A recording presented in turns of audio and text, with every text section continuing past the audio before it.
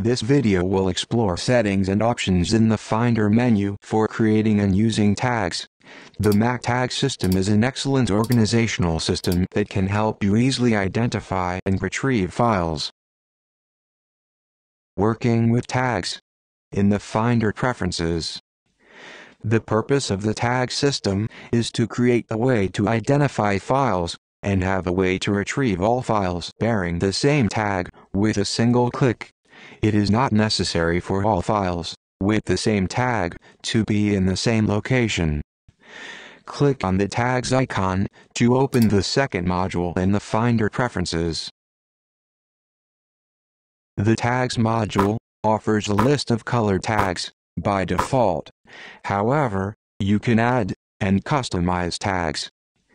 The title, Show these tags in the sidebar, is referring to the sidebar of a Finder window. When you click the checkbox to the right of a tag, that tag will be visible in the Finder sidebar.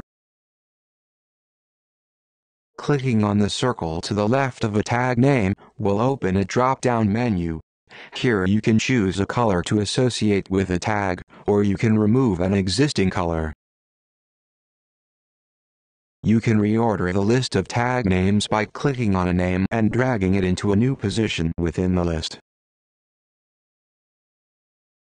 You can add or subtract tags by using the plus or minus buttons on the bottom left of the window.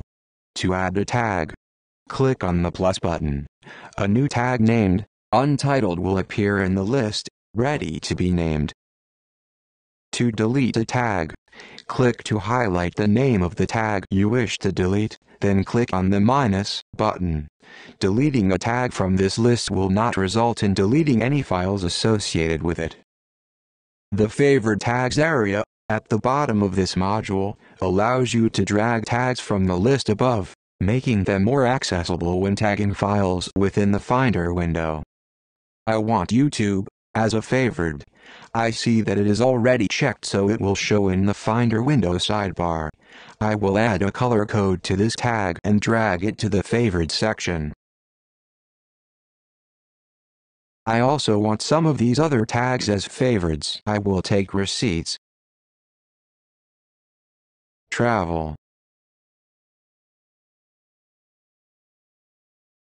and photography. Once in the favorites area, the sequence of the tags can be changed. They will show in the Finder in the same order as they appear here. I may not use this tag very often, so I will remove it.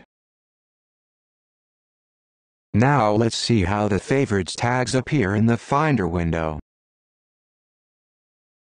Here in the Finder window, I will right-click on a file to access the menu. Below you will find the three favorites tags that we created in the tags preferences. I will click on the receipts tag. The file has been tagged.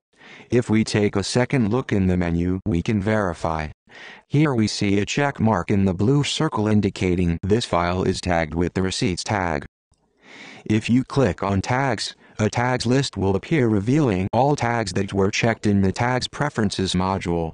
Here, you can create a new tag, and add multiple tags to single files or folders or tag selected groups.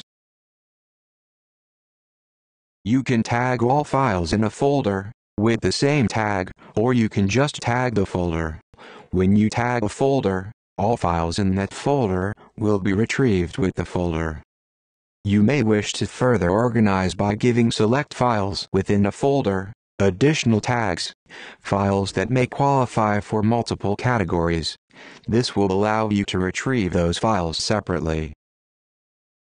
Now let's use tags in the Finder to retrieve files. The tags you create in the Tags Preferences module will appear at the bottom of the sidebar in the Finder window. If you do not see tags here it is because none have been created, or because they are hidden. To hide or show tags in the sidebar, hover your cursor over the word, tags. This will reveal the tags, hide or show options to the right. Retrieving tagged files from the sidebar is a simple process. Just click on any tag, and all files and folders assigned to that particular tag will appear in the file section of the Finder window. At the base of the tags list, there is an option to show all tags. Selecting this option will show your entire tag list in the file section of the Finder window. If there are other Mac system or application software issues that you would like to see presented, please let us know in the comments.